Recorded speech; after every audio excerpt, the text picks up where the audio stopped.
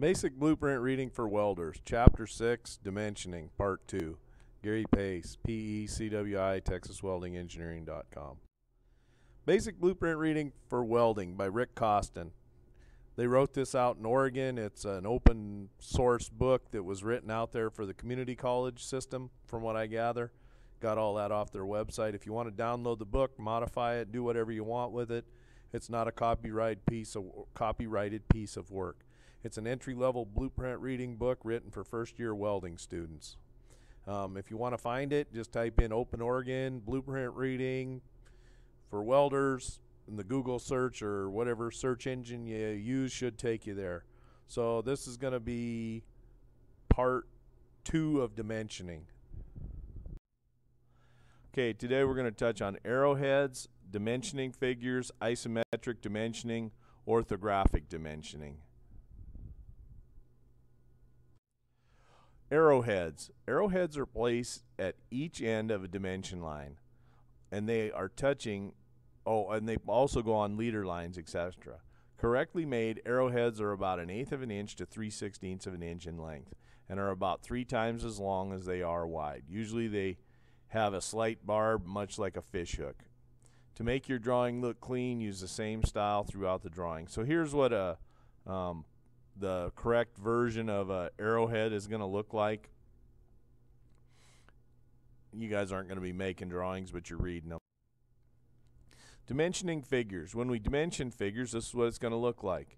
Um, you're going to have the numeral in the middle of the arrows. And then um, on the bottom, you see that we could have a fraction that's, you know, a quarter of an inch in height. Um, the numeral should be an eighth of an inch in height. But it just depends on what we've got going on and the size of the drawing.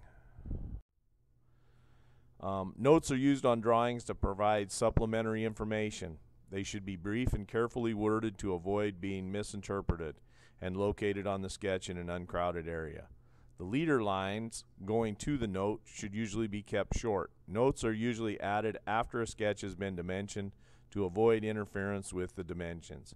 So, like that hole there up in the upper right hand corner where it says 730 seconds drill.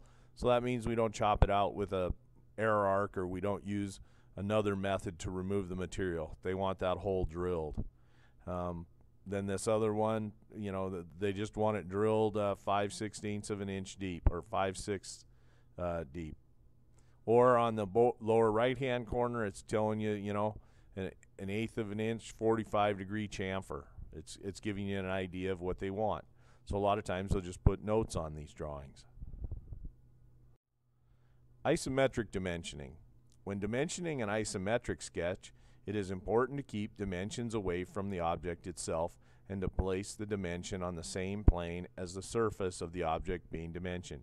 You will probably find that to dimension well in isometric will take some practice. We're not going to do that, but we're just reading. So you can see this is an isometric drawing and it's got dimensioning on it. So here's this is an example of isometric drawing being dimensioned.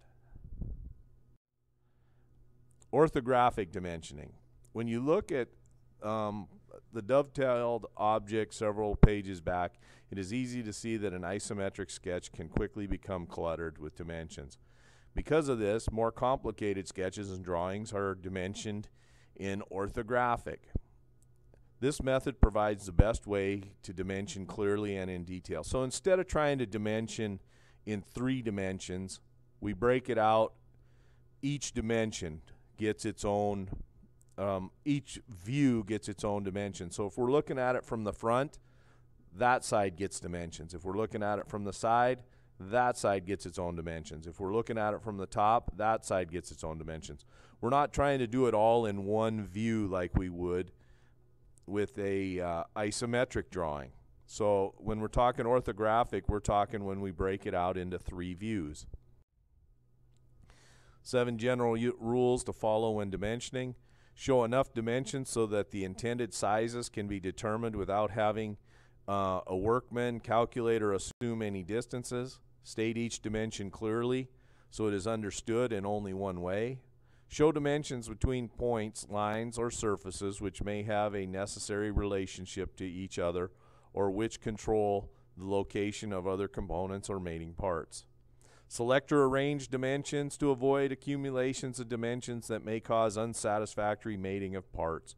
In other words, provide for a buildup of tolerances, um, and we'll, we'll touch base on that maybe. Um, show each dimension only once. We don't duplicate dimensions. We don't put a dimension on the front view and the top view and then another one on the side view. Um, where possible, each dimension feature in each view where it appears most clearly and where it where its true shape appears. When possible, specify dimensions to make use of readily available materials, parts, and tools. So this is relatively clean dimensioning and what it should look like. All right, so we covered arrowheads, dimensioning figures, isometric dimensioning, and orthographic dimensioning. All right, take care. Pace out.